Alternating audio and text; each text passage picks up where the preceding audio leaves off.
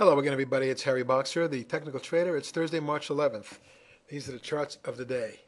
Um, we're going to do a mix of stuff today from my uh, uh, Tech Trader Universe and also from the Fab 40. Uh, but these are stocks that appear to be on the verge, either moving right now or on the verge of maybe making a move.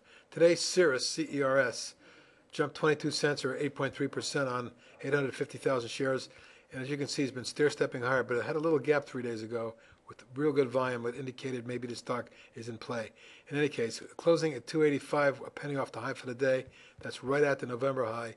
We have the possibilities of a breakout coming tomorrow, uh, which could lead to a quick move up to the three and a half area, the spike high from August, and then we have additional resistance up around four uh, and a quarter. But that's my trading target going forward.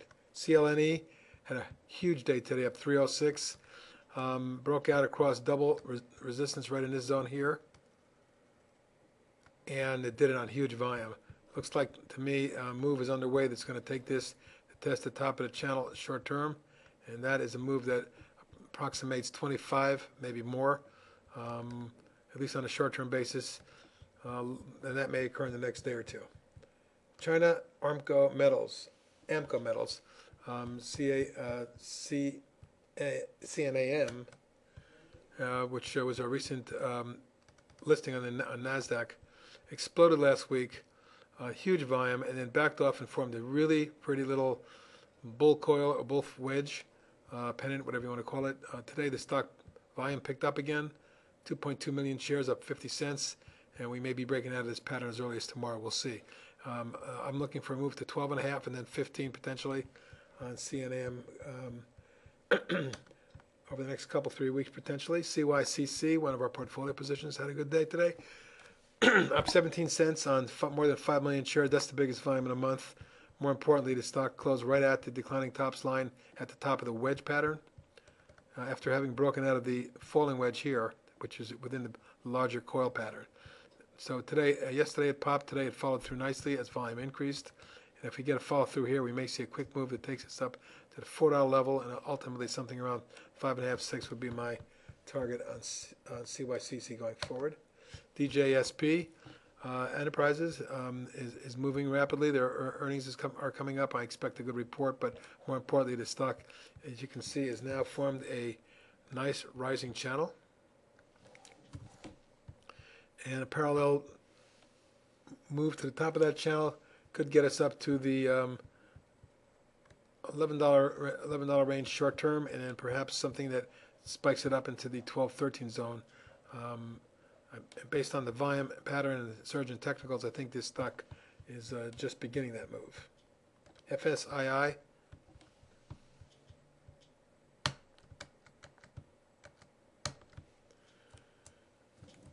FSII uh, was maybe coming out of a major two and a half month coil pattern.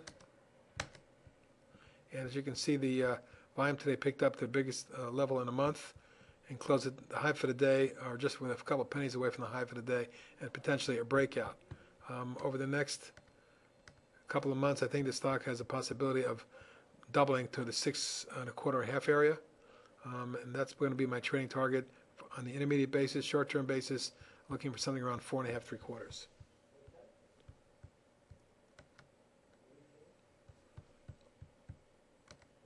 INCY. Incyte had a big day today, up 65 cents, closing over 13 for the first time in years, going all the way back uh, to, to two-year high. It's actually taken that out, and, and now it's approaching the 08 January 08 highs. Uh, I believe we actually closed above that as well today. So um, what we're seeing here is uh, a breakout above this entire multi-year base, and uh, next targets are up in the mid-teens and then high teens going forward. I, th- I think uh, INCY uh, could reach the top of this channel and eventually make it into the low 20s. MAP Pharmaceuticals, MAPP, um, appears to uh, be up against key resistance from the February highs, but has broken out of the declining channel. Volume uh, increased for the first couple of days and backed off today as the stock had an inside day. But I'm anticipating additional price progress, which breaks it out above 1680 resistance and then moves into the um, high teens, maybe $20 a s- uh, on my short-term trading target.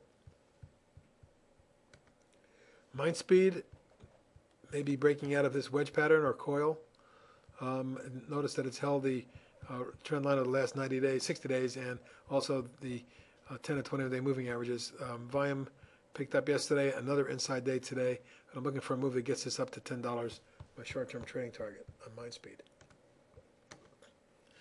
Nabi, former portfolio position, starting to perform nicely and may have accelerated out of this rising channel that it's been in uh, and accelerating the price move that should get it up towards the seven and a quarter, seven and a half area.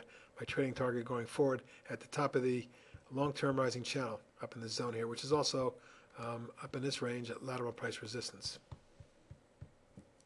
Nektar Pharmaceuticals, uh, one of my favorite top top 10 or 20 favorite uh, bi- junior biotechs, continues to stair step, flag, stair step, flag, stair step. Now it's a rising flag with the top of the channel uh, somewhere around the $18 level. That's my short-term trading target.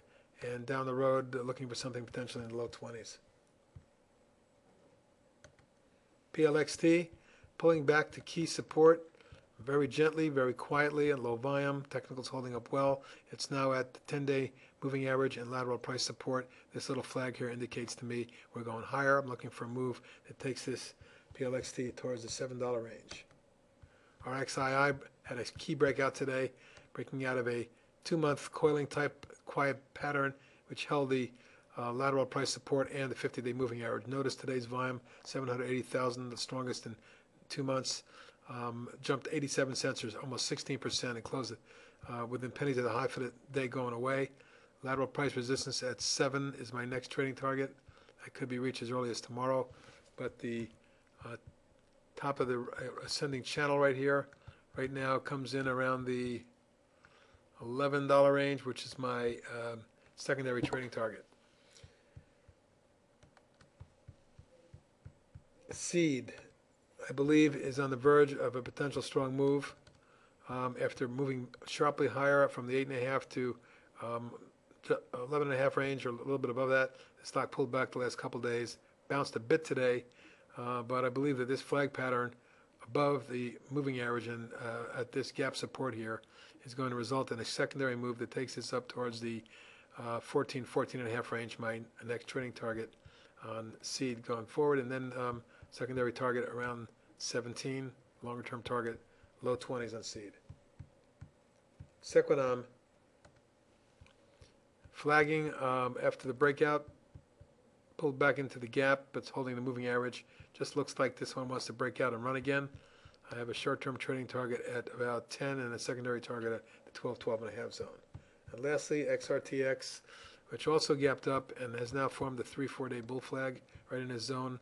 As volume dissipates, underlying technicals hold up very well. I expect a breakout from this flag that moves this up towards the $20 level, my short-term trading target, $24 uh, target intermediate, and longer-term target at 30 plus. That's it for today. There's some additional ideas for you. We will uh, talk to you next Monday. In the meantime, have a nice weekend.